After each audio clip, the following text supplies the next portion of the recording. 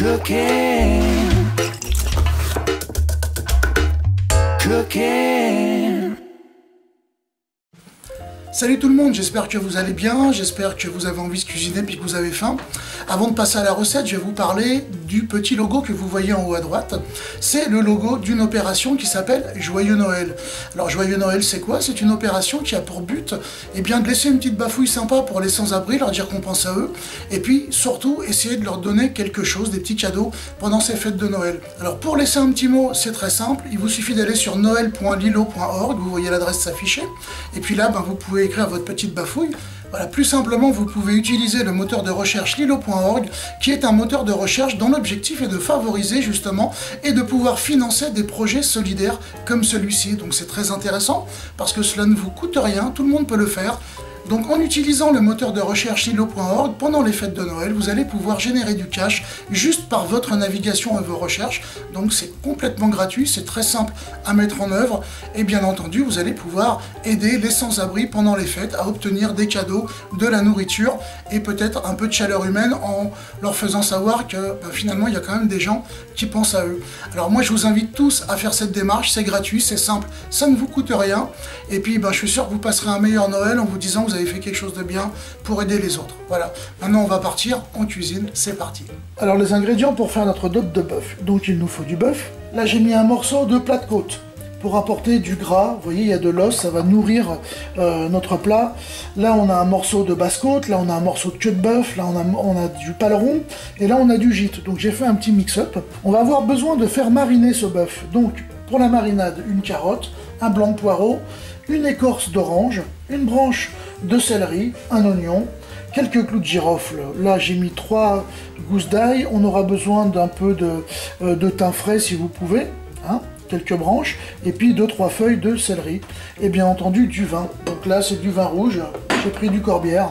Euh, pour la cuisson en elle-même, on aura besoin donc euh, ben, du bœuf qui aura mariné, on aura besoin d'une bonne cuillère à soupe de farine, une cuillère à soupe de concentré de tomate, quelques tranches de lard que je vais couper en lardons, donc là on a environ 250 g de lard, euh, quelques carottes, j'en ai mis 3 ou 4, un gros oignon, une petite poignée d'olive noire, et puis bien sûr, bien entendu, de l'huile, du sel, du poivre, des pommes de terre à chair ferme, que je vais faire cuire à la vapeur. La viande est coupée en petits morceaux, donc je vais ajouter à la marinade eh bien, tout ce que j'ai préparé et qu'on a vu dans la présentation. Donc l'ail,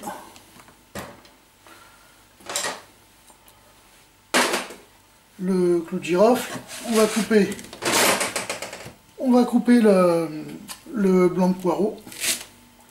Pas entièrement, parce qu'en fait je vais pas le garder hein, dans le plat, donc euh, je veux pas que les morceaux se séparent. Vous voyez, on va avoir quand même tous les arômes avec. Idem pour la branche de céleri, qu'on ne gardera pas, mais qui va diffuser ses arômes la carotte. hop. L'oignon. Alors couper hein, sommairement et grossièrement. Le thym. Et trois feuilles de laurier. Et puis maintenant, ben, on va ajouter du vin pour faire macérer tout ça.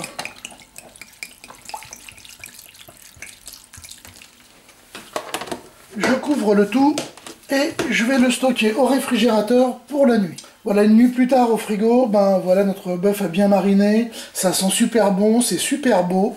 Donc ben je vais le réserver, puis on va continuer notre recette. Alors, on va maintenant émincer l'oignon.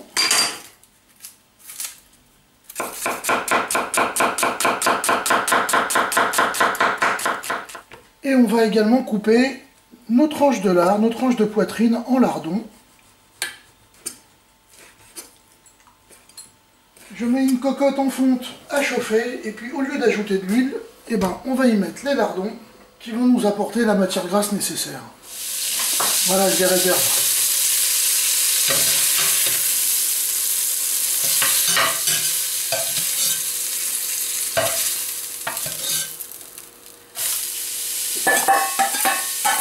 On va faire tomber nos oignons. Voilà, les oignons sont bien tombés, ils ont récupéré tous les sucs que les lardons avaient laissés au fond, donc c'est impeccable. Je rajoute les lardons. Donc le fait d'avoir mis des lardons en premier, ça m'a évité d'avoir à ajouter de l'huile pour faire revenir mes oignons. On va les laisser comme ça ensemble une petite minute et puis on va les débarrasser.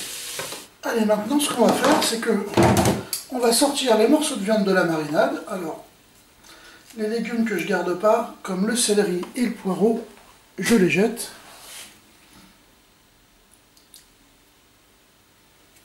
Voilà. Alors l'intérêt de la marinade, au-delà du goût, c'est euh, une technique qui était pratiquée pour euh, surtout attendrir les viandes dures comme les viandes euh, comme le gibier par exemple. Ça, ça permet d'avoir une viande plus tendre que si on ne la fait pas mariner. Alors, je tire ceci. Alors la marinade, on la garde, hein, bien sûr. On va l'utiliser tout à l'heure. Allez, on va faire revenir euh, nos morceaux de viande.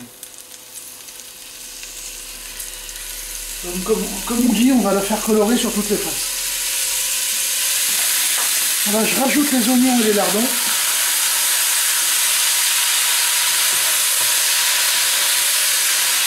J'ajoute la cuillère à soupe de farine sur la viande directement.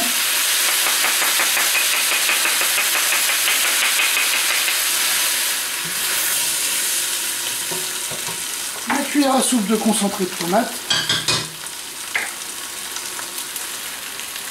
Et j'ajoute la marinade.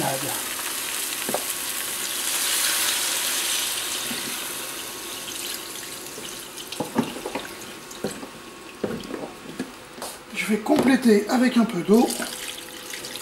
Voilà.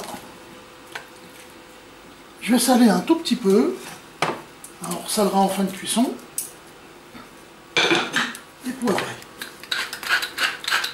Et on va partir comme ceci pour euh, environ 4 heures. Donc je vais couvrir. Et puis à partir de l'ébullition, on va compter entre 3 et 4 heures. Et si c'est pas suffisant, on poursuivra la cuisson. Vous voyez, à ébullition, la viande va rendre quelques impuretés que l'on va décanter comme ceci. Voilà. vous venez les chercher avec une passoire et puis on les jette. Et vous venez faire ça, ben voilà, on va dire... Euh, toutes les 15-20 minutes, quoi. Et puis à la fin, il n'y aura plus rien à nettoyer, ce sera parfait. Alors, on est à mi-cuisson, on voit déjà que la sauce a bien réduit. Donc, c'est le moment d'ajouter les carottes et la poignée d'olive. Alors, je voudrais pas que, que la sauce s'évapore trop, donc je vais rajouter un petit peu d'eau. Voilà, je la rallonge un petit peu pour que les carottes puissent bien être recouvertes. Et on poursuit la cuisson voilà, pendant que notre dope de bœuf continue de cuire, j'ai épluché des pommes de terre. Puis on va les faire cuire à la vapeur. Voilà, on est à peu près à 3 heures de cuisson. Donc, euh, à petit frémissement, vous voyez, là je suis sur 2, j'ai terminé la cuisson sur 2, à couvert. Et là, bah, on obtient une viande qui est vraiment tendre, vous voyez, à la fourchette. Alors, je sais pas comment, je vais essayer de vous montrer un petit morceau. Vous voyez, donc là, on coupe ça comme ça. C'est vraiment super tendre. Vous voyez, il n'y a pas besoin de couteau ou quoi que ce soit.